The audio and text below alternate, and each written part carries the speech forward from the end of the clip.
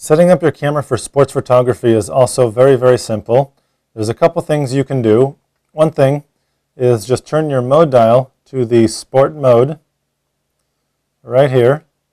And what this does is a couple things. One, it'll automate everything for you.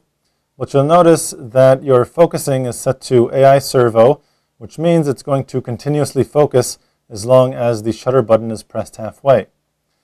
The other thing, the camera optimizes the drive mode to continuous shooting so that as long as you hold down the shutter button, the camera will continuously take pictures at a rate of about 3.5 per second so you have a better chance of capturing the action.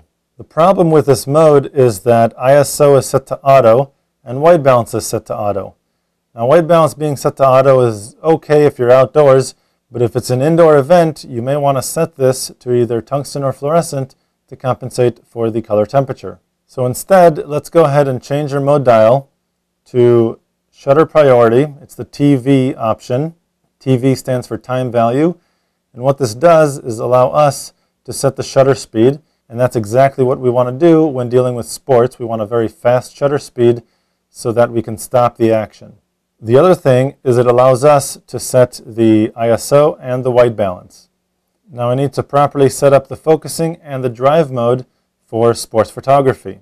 So let's go ahead with the focusing. Just press the AF button right here and then move over to choose AI Servo. Then press Set. Change the drive mode by pressing the drive mode button right here. Move over to choose Continuous Shooting and press Set. Now the ISO is really dependent on how much light is available.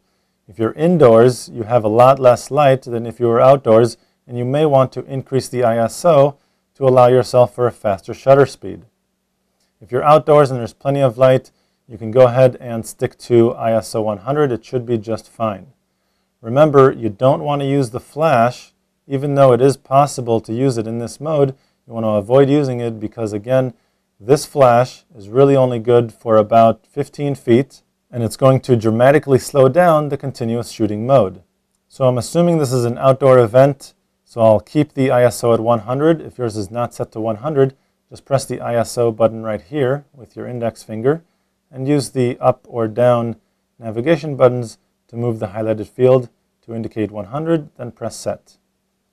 The white balance should also be set to daylight.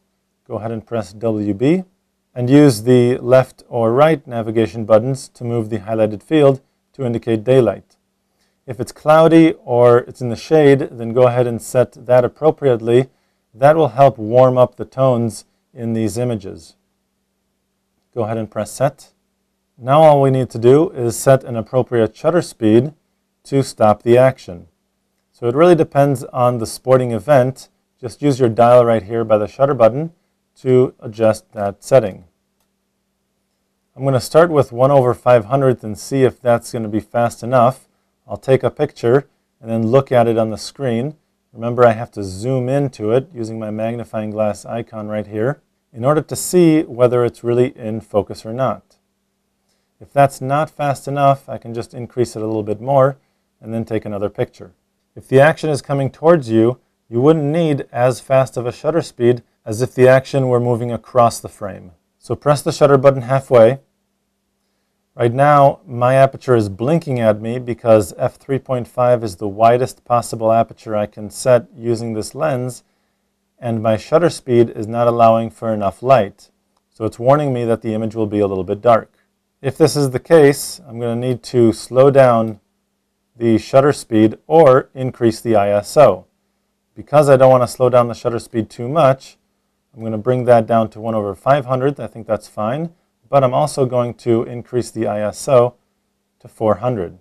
Press set and go down. Now I'm okay. My aperture is at f5 and I can go ahead and take my picture.